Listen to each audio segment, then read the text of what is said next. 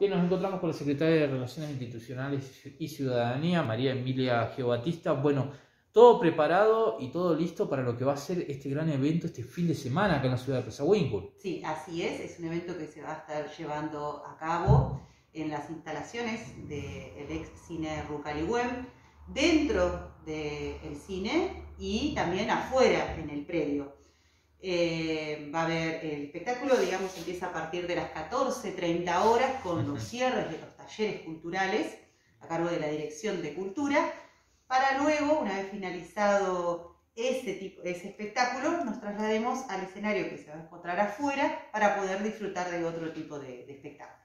Bien, la convocatoria va a ser amplia porque sabemos que van a haber artesanos y demás, ¿no? Sí, así es. Tenemos una convocatoria de, para eh, artesanos, emprendedores y pequeños productores, tanto locales como también vienen de la ciudad de Neuquén. Va a haber también una carpa donde vamos a poder disfrutar y degustar comidas típicas porque también se van a hacer presentes distintas colectividades y también, bueno, vamos a tener eh, un patio de comidas donde, bueno, la gente una vez que adquiera sus platos puede dirigirse a ese espacio para poder eh, comer ahí. Por otro lado, bueno, eh, están todas las medidas de seguridad, el tema para que cada uno ande con su barbijo y demás, ¿no? Sí, la idea es, los protocolos. Tal, tal cual, tal cual, la idea es esta, ¿no?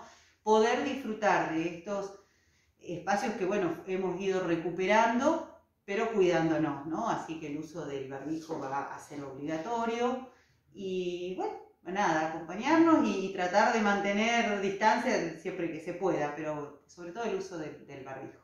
Bien, eh, realmente, eh, bueno, ir sumando ¿no? las cantidades de actividades, porque ya sabemos que estamos en un marco de la posibilidad de, tener eventos y demás. Esto es algo fundamental para la ciudad después de una pandemia que realmente complicó muchísimo. Sí, a todos nos ha, nos ha complicado a nivel nacional, provincial y por supuesto local. Nos hemos visto afectados en el mes aniversario, no hemos podido ¿no? Eh, festejar nuestro cumpleaños, el cumpleaños de nuestra ciudad.